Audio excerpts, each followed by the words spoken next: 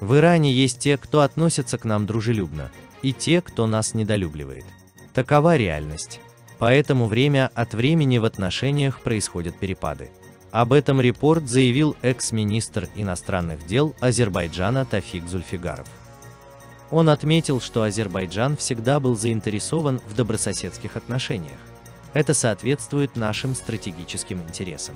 Встречи, переговоры тоже дают свои плоды. Правда, одного политического решения недостаточно для открытия Зангизурского коридора. Для этого должны быть еще и технические возможности. В этом смысле для открытия Зангизурского коридора, вероятно, потребуется как минимум 3-4 месяца.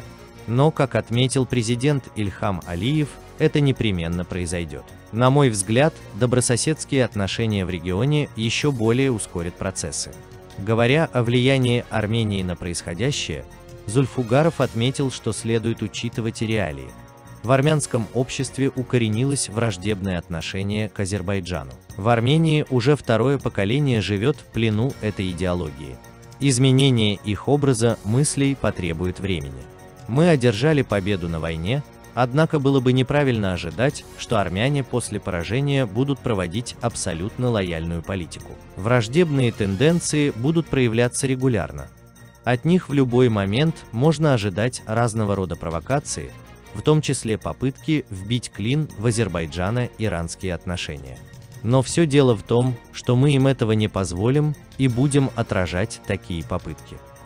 Отметим, что в рамках 15-го саммита Организации исламского сотрудничества ИС в столице Туркменистана, Ашхабаде, состоялась встреча президентов Азербайджана и Ирана. Встреча прошла в теплой атмосфере, Обе стороны выразили приверженность продолжению отношений в соответствии с принципами добрососедства и сотрудничества.